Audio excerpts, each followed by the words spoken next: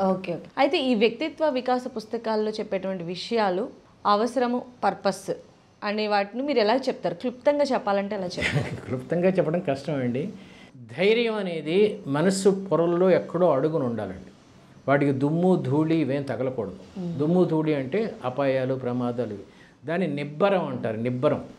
కంపోజ్డ్గా ఉండటం కామ్గా ఉండటం ఇదంతా ధైర్యం చుట్టూ ఉండే కవర్స్ అండి. దీనికి ఏ ధూళి తగలకుండా కాపాడుకోవాలి. ఉదాహరణకి మీకు ఒక సెల్ ఫోన్ ఉంది. సెల్ ఫోన్కి కవర్ ఎందుకు వేస్తారు? ప్రొటెక్షన్ ప్రొటెక్షన్ కింద పడితే భద్రత అర్థమైంది కదా? మీరు ఒక కారులో వెళ్తున్నారు టైర్ పంచర్ అయింది. అలా కంటిన్యూ ఎందుకు చేయరు? అలా కంటిన్యూ చేస్తే కుదుపులు వస్తాయి. ముందు రిమ్ పాడవుతుంది. ఇంకా కంటిన్యూ చేస్తే ఇంజిన్ పాడైపోతుంది. కదా?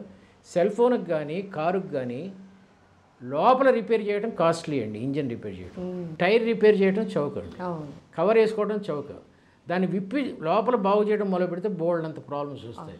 ఇలాగే ఈ బయట ఉన్న మీరు పాడైపోతుందన్న దుమ్ము ధూళి కింద పడితే ఇరిగిపోతుందన్న దానికి ఒక కవర్ అయ్యాలి కదా. ప్రతి మనిషిలోనూ ఇద్దరు మనుషులు ఉండాలండి. ఒక మనిషి ఆ కవర్ లాగా లోపల మనిషిని కాపాడుకుంటూ ఉండాలి. ఆ లోపల మనిషి నిబ్బరంగా ధైర్యంగా ప్రకృతిని ఆరాధిస్తూ ప్రజల్ని ప్రేమిస్తూ జీవితాన్ని ఆస్వాదిస్తూ కామ్గా నిద్రపోతూ ఉండాలి. ఈ బయట ఉన్న మనిషి ఈ కవర్ లాగా వీటిలన్నింటినీ షాక్ అబ్జార్బర్ లాగా అబ్జర్వ్ చేసుకుంటూ ఎప్పటికప్పుడు రిపేర్లు చేసుకుంటూ టైర్లు వీడు చూసుకుంటూ ఉండాలి. ఎప్పుడైతే నీలో ఇద్దరు మనుషులు ఉన్నారో ఒక మనిషి బయట ప్రమాదాలను రక్షించుకుంటూ లోపల మనిషి ప్రపంచ జీవితాన్ని ఆనందిస్తూ ఉన్నాడో అప్పుడు నువ్వు ముసలోడు అవ్వవు జీవితంలో.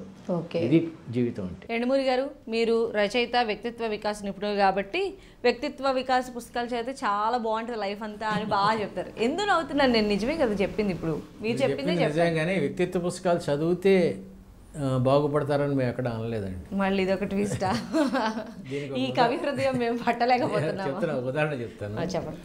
ఒక ఫ్రెండ్ ఇంటికి వెళ్ళాడు ఒక అతను చీకటి పడింది డిన్నర్ అయిపోయింది. అతను బయటకు వస్తున్నాడు. బయటకు వస్తుంటే ఫ్రెండ్ ఒక టార్చ్ లైట్ ఇచ్చాడు.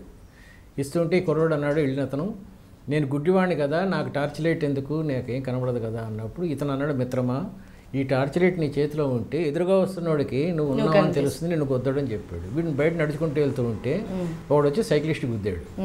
వీడు కింద పడ్డారు కింద పడితే నేను గుడ్డివాడిని తెలియట్లేదా? టే- టార్చ్ లైట్ కనబడలేదా? అంటే అతను అన్నాడు సైక్లిస్ట్ సారీ సార్ మీరు గుడ్డివాడని నాకు తెలియదు కానీ మీరు టార్చ్ లైట్ వెలిగించలేదండి అందుకని కొట్టాను అన్నాడు. సో పుస్తకాలు చదివితే బాగుపడతారని లేదండి. పుస్తకాలు చదివింది ఆచరించాలి అని చెప్పాను. అలా ఆచరిస్తే టార్చ్ లైట్ ప్రతి మనిషిలోనూ ఒక టార్చ్ లైట్ ఉంటుంది. అది వెలిగించి చూసుకుంటే నీ గమ్యాన్ని కనబడుతుంది. టార్చ్ లైట్ ఉంది కదా అని ఆఫ్ చేసి కూర్చుంటే కనబడు చదివితే ఏం బాగుపడుతుంది? సో ఆచరించాలంటారు.